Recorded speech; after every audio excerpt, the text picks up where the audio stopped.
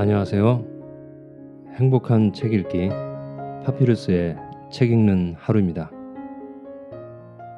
이제 2020년이 얼마 남지 않았죠. 올해는 저를 포함하여 많은 분들에게 정말 기억에 남는 해가 될 것 같습니다. 생각지도 못했던 전염병으로 수많은 사람들이 아프고 고통을 받았던 한 해였습니다. 또 우리가 너무나 평범하게 일상적으로 누려왔던 많은 것들을 하나도 제대로 할 수가 없었습니다. 이러고 보니 새삼 우리 평범했던 하루하루가 얼마나 소중하고 귀한 것들이었는지를 역설적으로 느낀 한 해가 아니었나 생각해 봅니다. 새해에는 지금의 고통스러운 기억들을 씻어버리고 희망이 가득한 단순하고 평온했던 일상 속으로 다시 돌아갈 수 있기를 진심으로 바랍니다. 그리고 우리 구독자님들의 가정에도 희망의 꿈이 가득하고 행복한 한 해를 만들어 나가시길 또한 진심으로 바라겠습니다. 오늘 2020년 마지막 책 읽기는 김유정 작가의 산골 나그네입니다. 재밌게 들으실 수 있는 작품이니까 편안하게 감상하시면서 이야기 끝까지 함께 해주시기를 부탁드리며 산골 나그네를 같이 읽어보도록 하겠습니다.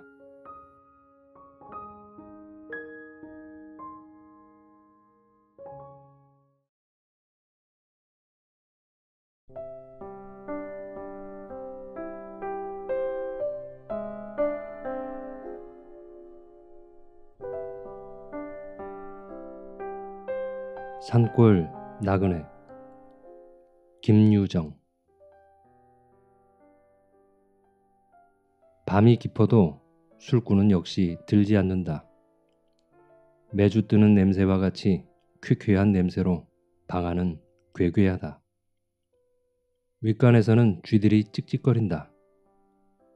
호르머니는 쪽 떨어진 화로를 끼고 앉아서 쓸쓸한 대로 곰곰 생각에 젖는다. 가뜩이나 침침한 반짝 등불이 북쪽 지게문에 뚫린 구멍으로 새드는 바람에 반뜩이며 빛을 잃는다. 헌 버선짝으로 구멍을 틀어막는다. 그러고 등잔 밑으로 반지꼬리를 끌어당기며 시름없이 바늘을 집어든다. 산골의 가을은 왜 이리 고적할까? 앞뒤 울타리에서 부수수하고 떨리푼 진다. 바로 그것이 귀 밑에서 들리는 듯 나직나직 속삭인다. 더욱 몹쓸 건 물소리. 고를 휘돌아 맑은 샘은 흘러내리고 야릇하게도 음유를 읊는다. 퐁, 퐁, 퐁, 쪼록, 퐁. 바깥에서 신발 소리가 자작자작 들린다. 귀가 번쩍 뜨여 그는 방문을 가볍게 열어젖힌다. 머리를 내밀며 덕돌이냐? 하고 반겼으나 잠잠하다. 앞들 건너편 수평을 감돌아 싸늘한 바람이 낙엽을 흩뿌리며 얼굴에 부딪힌다. 용마루가 쌩쌩 운다. 모진 바람 소리에 놀라서 멀리서 밤개가 요란히 짖는다. 주인 어른 개소유 몸을 돌려 바느질 거리를 다시 들려 할제 이번에는 짜장 인기가 난다. 황급하게 누구유? 하고 일어서며 문을 열어보았다. 왜 그리유? 처음 보는 아낙네가 마루 끝에 와 섰다. 달빛에 비끼어 검붉은 얼굴이 해쓱하다. 추운 모양이다. 그는 한 손으로 머리에 둘렀던 외수건을 벗어들고는 다른 손으로 흩어진 머리카락을 쓰다듬어 올리며 수줍은 듯이 쭈뼛쭈뼛한다. 저 하룻밤만 드세고 가게 해주세요. 남정네도 아닌데 이 밤중에 웬일일까? 맨발에 집신짝으로 그야 아무렇든 어서 들어와 불 쬐게유. 나그네는 주춤주춤 방 안으로 들어와서 화로 곁에 도사려 앉는다. 낡은 치맛자락 위로 비어지려는 속살을 아무리자 허리를 지그시 튼다. 그리고는 묵묵하다. 주인은 물끄러미 보고 있다가 밥을 좀 주려느냐고 물어보아도 잠자코 있다. 그러나 먹던 대공을 주워 모아 짠지 쪽하고 갖다 주니 감지덕지 받는다. 그리고 물 한 모금 마심 없이 잠깐 동안에 밥그릇의 밑바닥을 긁는다. 밥숟가락을 놓기가 무섭게 주인은 이야기를 붙이기 시작하였다. 미주알 고주알 물어보니 이야기는 지수가 없다. 자기로도 너무 지쳐 물은 듯 싶은 만치 대구 추궁거렸다. 나그네는 싫단 기색도 좋단 기색도 별로 없이 신압으로 대꾸하였다.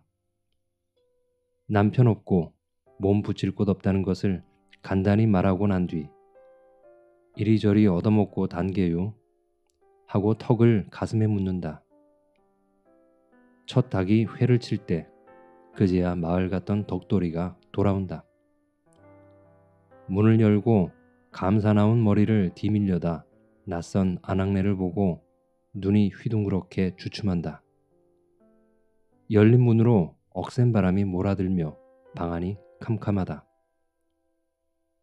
주인은 문 앞으로 걸어와 서며 덕돌이의 등을 뚜덕거린다. 젊은 여자 자는 방에서 떡거머리 총각을 재우는 건 상서롭지 못한 일이었다.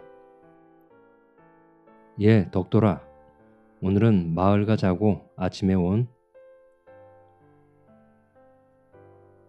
가을 할 때가 지었으니 동양이나 조이 퍼질 때도 되었다.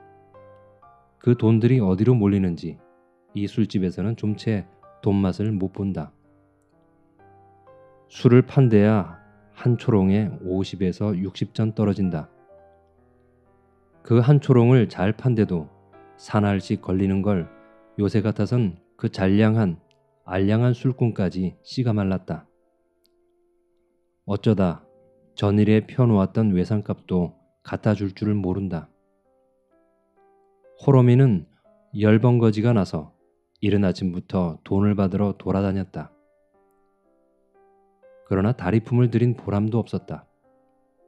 낼 사람이 즐겨야 할 텐데 우물쭈물하며 한단 소리가 좀 두고 보자는 것이 고작이었다. 그렇다고 안 갈 수도 없는 노릇이다. 나날이 양식은 딸리고 지점집에서 집행을 하느니 뭘 하느니 독촉이 어지간치 않으매랴. 저도 인젠 떠나겠어요. 그가 조반 후 나들이 옷을 바꾸어 입고 나서니 나그네도 따라 일어서다. 그의 손을 잔상히 붙잡으며 주인은 고달플 테니 며칠 더 쉬어가게유 하였으나 가야지유. 너무 오래 신세를. 그런 염려는 말고 라고 누르며 집 지켜주는 셈치고 방에 누웠으라 하고는 집을 나섰다. 백두고개를 넘어서 앞말로 들어가 해동갑으로 헤매었다. 해실수를 간 곳도 있기야 하지만 맑았다. 해가 지고 어두울 역해야 그는 홀부들해서 돌아왔다. 좁쌀 닷되밖에는 못 받았다. 다른 사람들은 돈 낼 생각은커녕 이러면 다시 술 안 먹겠다고 도리어 얼러 보냈던 것이다. 그러나 이만도 다행이다. 아주 못 받는 이보다는 끼니 때 가지였다. 그는 좁쌀을 씻고 나그네는 솥에 물을 지피어 부랴사랴 밥을 짓고 일변 상을 보았다. 밥들을 먹고 나서 앉았으려니까 갑자기 술꾼이 몰려든다. 이거 웬일인가? 처음에는 하나가 오더니 다음에는 세 사람, 또 두 사람, 모두 젊은 축들이다.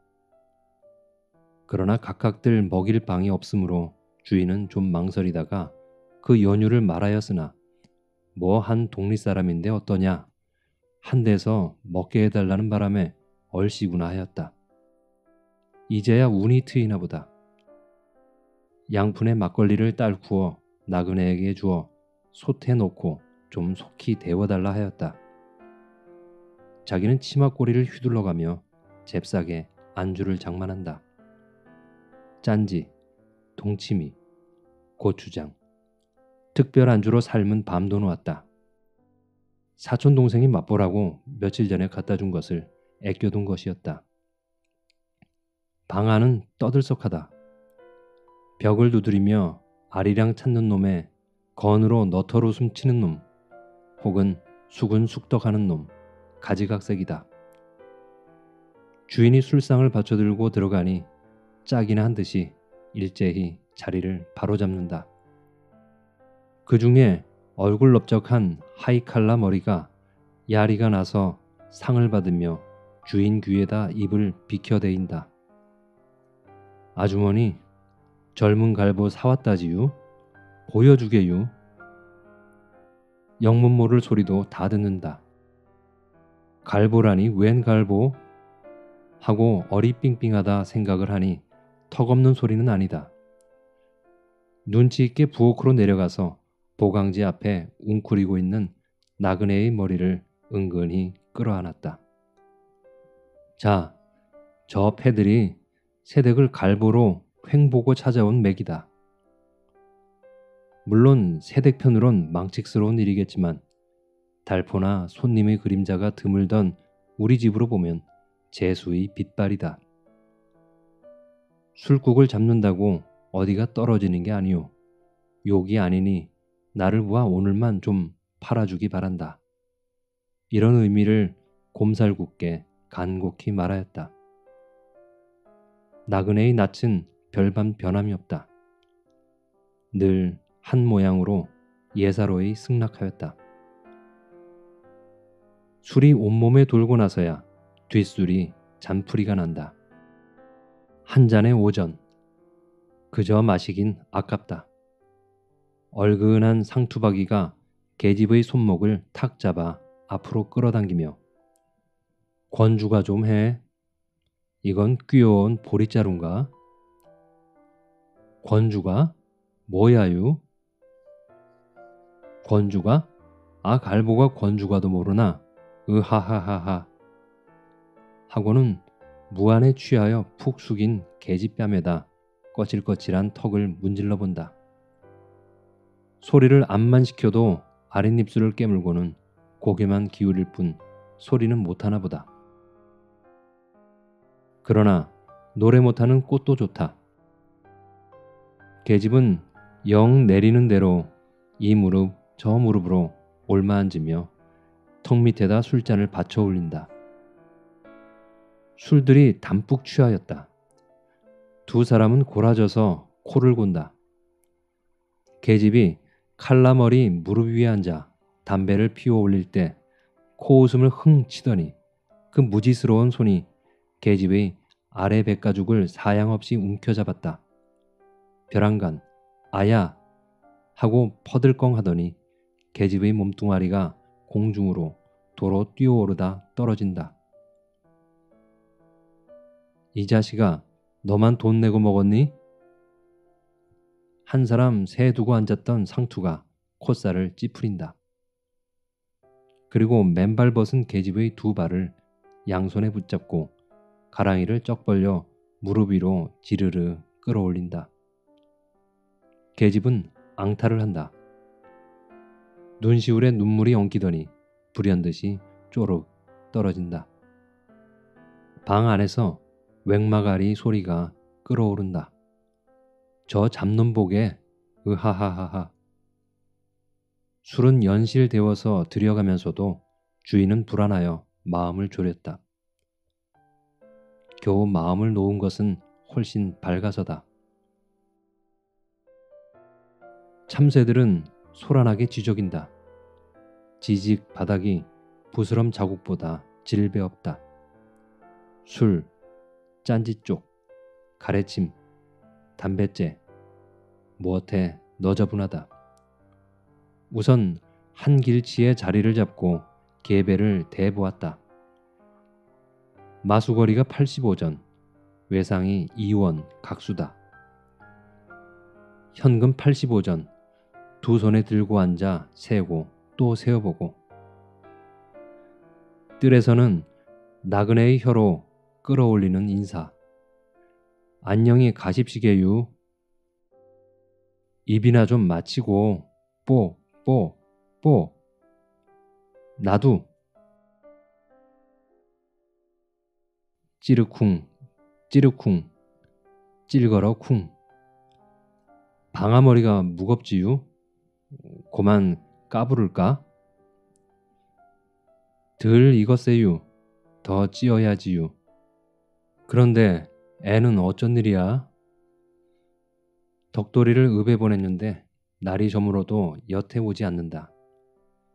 흩어진 좁쌀을 확에 쓸어 넣으며 호러미는 퍽이나 애를 태운다. 요새 날치가 찾으니까 늑대, 호랑이가 차차 마을로 찾아내린다. 밤길에 고개 같은 데서 만나면 끽소리도 못하고 욕을 당한다. 나그네가 방아를 괴놓고 내려와서 키로 확의 좁쌀을 담아 올린다. 주인은 그 머리를 쓰담고 자기의 행주치마를 벗어서 그 위에 씌워준다. 계집의 나이 열아홉이면 활짝 필 때이건만 버케된 머리칼이며 야윈 얼굴이며 벌써부터 외양이 시들어간다. 아마 고생을 지난 탓이리라. 날씬한 허리를 재빨리 놀려가며 일이 끊일 새 없이 다구지게 덤벼드는 그를 볼 때 주인은 지극히 사랑스러웠다. 그리고 일변 측은도 하였다.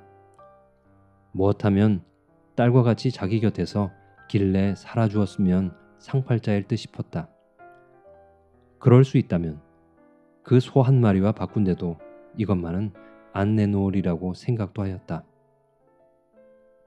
아들만 데리고 호러미의 생활은 무던히 호젓하였다. 그런데 다 동리에서는 속 모르는 소리까지 한다. 떡거머리 총각을 그냥 늙힐 테냐고. 그러나 형세가 부침으로 감히 엄두도 못 내다가 겨우 올 봄에서야 다부터 서둘게 되었다. 의외로 일은 손쉽게 되었다. 이리저리 언론이 돌더니 남촌산에 사는 어느 집 둘째 딸과 혼약하였다. 일부러 호로미는 40리길이나 걸어서 섹시 손등을 문질러 보고는 참 애기 잘도 생겹세. 좋아서 사돈에게 칭찬을 뇌곤 뇌곤 하였다. 그런데 없는 살림에 빚을 내어가며 혼수를 다 꼬매놓은 뒤였다. 혼인날을 불과 이틀 격해놓고 일이 고만 빛났다. 처음에야 그런 말이 없더니 난데없는 선체금 30원을 가져오란다. 남의 돈 3원과 집의 돈 5원으로 거축꾼에게 품삯 노비 주고 혼수하고 단지 2원. 잔치에 쓸 것밖에 안 남고 보니 30원이란 임내도 못 낼 소리다. 그 밤 그는 이리 뒤척 저리 뒤척 넋실은 팔을 던져가며 통밤을 세웠던 것이다. 어머니 진지 잡수세요. 새댁에게 이런 소리를 듣는다면 끔찍이 귀여우리라. 이것이 단 하나의 그의 소원이었다. 다리 아프지유? 넘어 일만 시켜서 주인은 저녁 좁쌀을 쓸어 놓다가 방아다리에 깝신대는 나그네를 걸삼스럽게 쳐다본다. 방아가 무거워서 껍적이며 잘 오르지 않는다. 갸냘픈 몸이라 상혈이 되어 두 볼이 새빨갛게 쌕쌕거린다. 치마도 치마려니와 명지저고리는 어찌 사갔는지 어깨깨가 손바닥만하게 척 나갔다.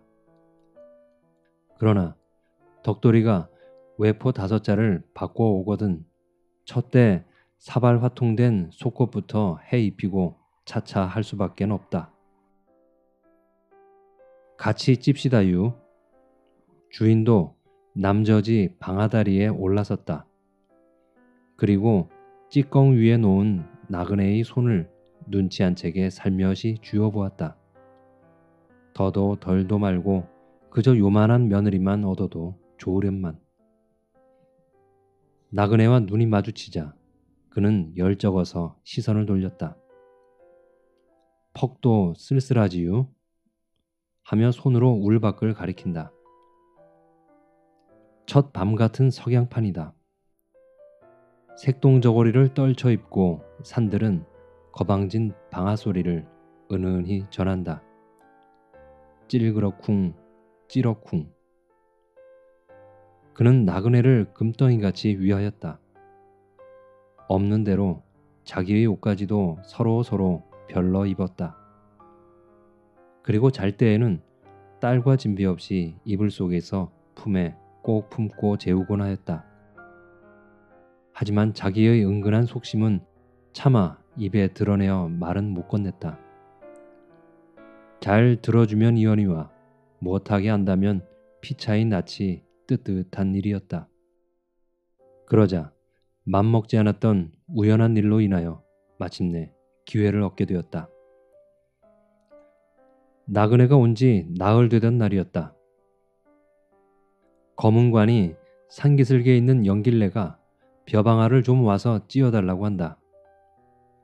나그네는 줄밤을 세우므로 낮에는 푸근히 자라고 두고 그는 홀로 집을 나섰다. 머리에 결을 뽀얗게 쓰고 맥이 풀려서 집에 돌아온 것은 이럭저럭 으스레야 하였다. 늙은 다리를 끌고 뜰 앞으로 향하다가 그는 주춤하였다. 나그네 홀로 자는 방에 덕돌이가 들어갈 리 만무한데 정령코 그놈일 게다. 마루 끝에 자그마한 나그네의 집세기가 놓인 그 옆으로 질목채 벗은 왕달 집세기가 왁살스럽게 놓였다. 그리고 방에서는 수군수군 낮은 말소리가 흘러나온다. 그는 무심코 닫은 방문께로 귀를 기울였다. 그럼 와 그러는 게유? 우리 집이 굶을까봐 그리시유? 어머니도 사람은 좋아요. 올해 잘만 하면 내년에는 소 한 마리 사놓을 게고 농사만 해도 한 해에 쌀 넉섬, 조 여섬, 그만하면 고만이지요. 내가 싫은 게유? 사내가 죽었으니 아무튼 얻을 게지요. 옷 터지는 소리, 부스럭거린다. 아이, 아이, 아이 참, 이거 노세유. 쥐 죽은 듯이 감감하다. 허공에 아롱거리는 낙엽을 이윽히 바라보며 그는 빙그레야 한다. 신발 소리를 죽이고 뜰 밖으로 다시 돌쳐섰다. 저녁상을 물린 후 시치미를 딱 떼고 나그네의 기색을 살펴보다가 입을 열었다. 젊은 아낙네가 홀몸으로 돌아다닌데도 고상일게유. 또 어차피 사내는 여기서부터 사리에 맞도록 이 말 저 말을 주섬주섬 꺼내오다가 나의 며느리가 되어줌이 어떻겠냐고 꽉 토파를 지었다. 치마를 흡사고 앉아 갸웃이 듣고 있던 나그네는 치마끈을 깨물며 이 말을 떨어뜨린다. 그리고는 두 볼이 빨개진다. 젊은 계집이 나 시집 가겠소 하고 누가 나서랴.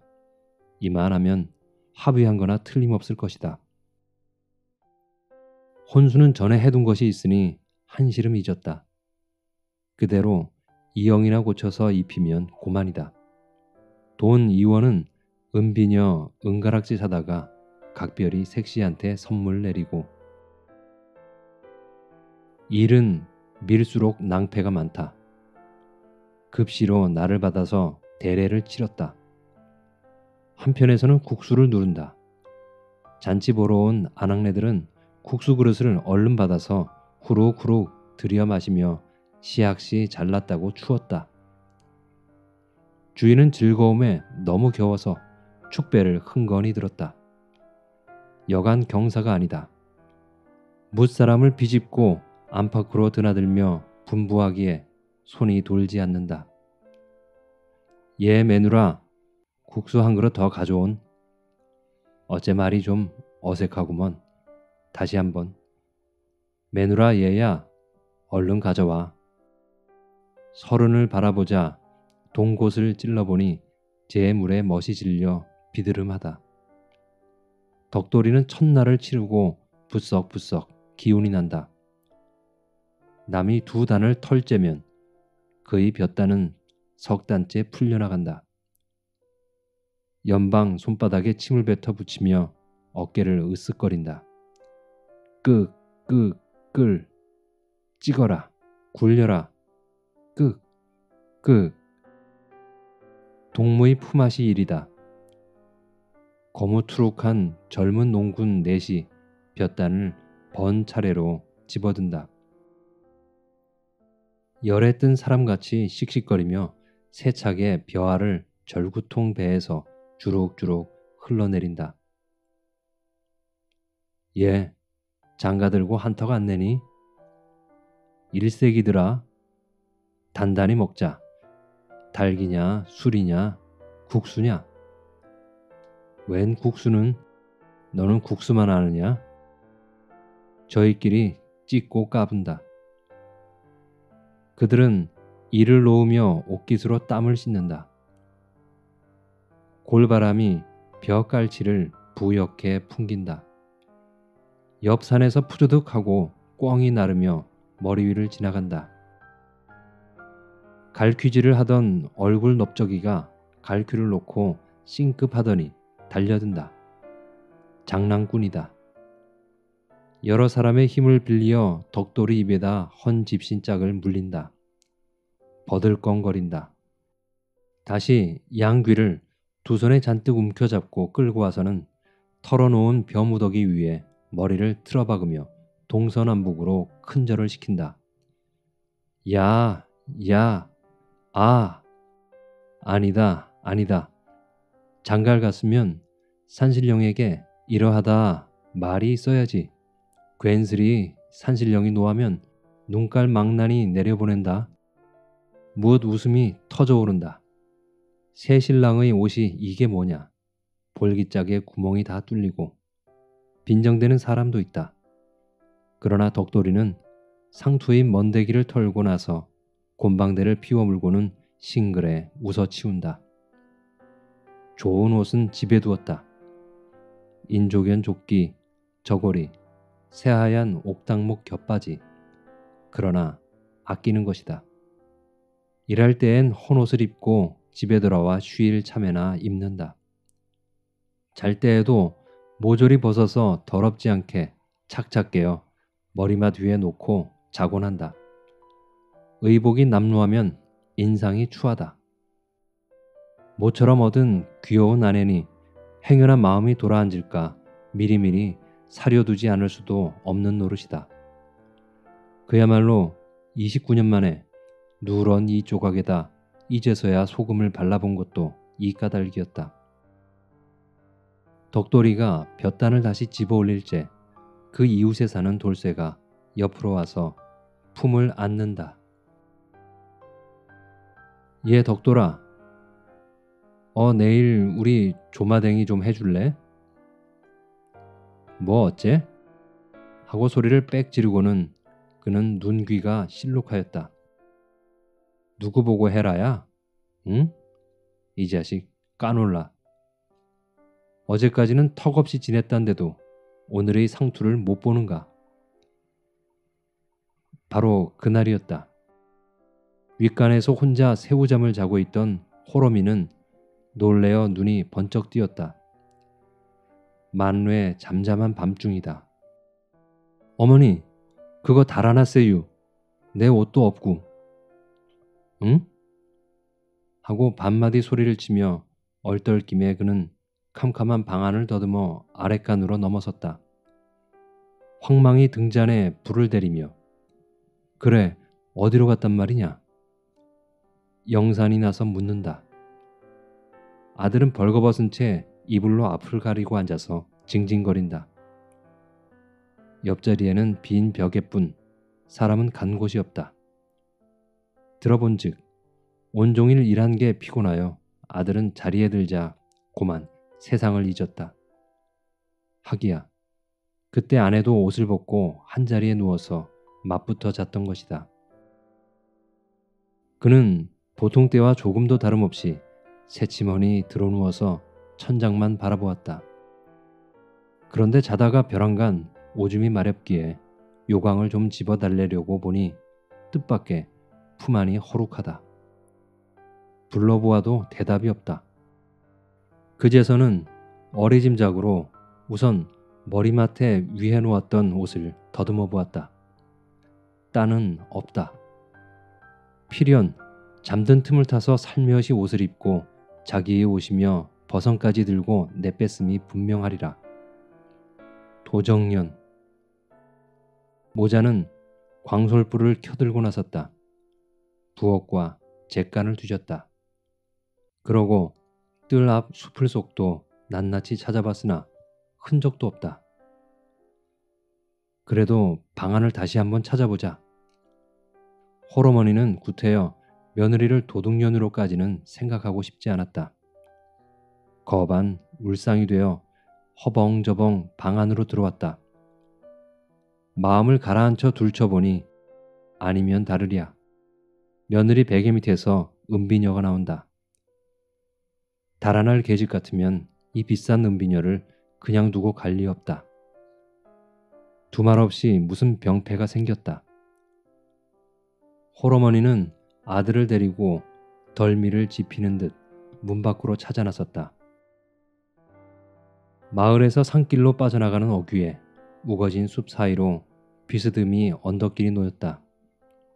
바로 그 밑에 석벽을 끼고 깊고 푸른 웅덩이가 묻히고 넓은 그물이 겹겹 산을 내돌아 약 10리를 흘러내리면 신영강 중턱을 뚫는다. 시세에 반쯤 파묻혀 번들대는 큰 바위는 내를 사고 양쪽으로 질펀하다. 꼬부랑길은 그 틈바위로 뻗었다. 좀 채 걷지 못할 자갈길이다. 내를 몇 번 건너고 험상궂은 산들을 비켜서 한 오마장 넘어야 겨우 길다운 길을 만난다. 그리고 거기서 좀 더 간 곳에 냇가에 외직에 이뤄진 오막살이 한 칸을 볼 수 있다. 물방앗간이다. 그러나 이제는 밥을 찾아 흘러가는 뜬몸들이 하룻밤 숙소로 변하였다. 벽이 확 나가고 네 기둥뿐인 그 속에 힘을 잃은 물방아는 을씨년 굳게 모로 누웠다. 거지도 그 옆의 홀립을 위해 거적을 덧쓰고 누웠다. 거푸진 신음이다. 으, 으, 으흥. 석가래 사이로 달빛은 쌀쌀이 흘러든다. 가끔 마른 잎을 뿌리며 여보 자우 일어나게유 얼핀 계집의 음성이 나자 그는 꾸물거리며 일어앉는다. 그리고 너털대는 호적삼 깃을 여며 잡고는 덜덜 떤다. 인제 고만 떠날 테이야? 쿨룩.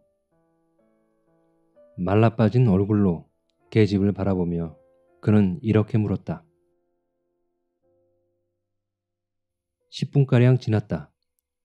거지는 호사하였다. 달빛에 번쩍거리는 겹옷을 입고서 지팡이를 끌며 물방앗간을 등졌다. 골골하는 그를 부축하여 계집은 뒤에 따른다. 술집 며느리다. 옷이 너무 커. 좀 적었으면. 잔말 말고 어여 갑시다. 펄쩍.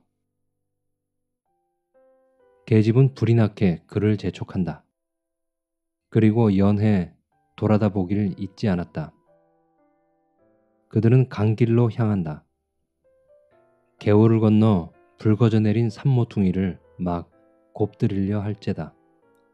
멀리 뒤에서 사람 우기는 소리가 끊일 듯 날 듯 간신히 들려온다. 바람에 먹히어 말소리는 모르겠으나 재 없이 덕돌이의 목성임은 넣기 짐작할 수 있다. 아, 얼른 좀 오게유. 똥끝이 마르는 듯이 계집은 사내의 손목을 겁겁이 잡아 끈다. 병든 몸이라 끌리는 대로 뒤툭거리며 거지도 으슥한 산 저편으로 같이 사라진다. 수은빛 같은 물방울을 품으며 물결은 산벽에 부닥들인다. 어디선지 지정치 못할 늑대 소리는 이산 저산서 와글와글 굴러 내린다.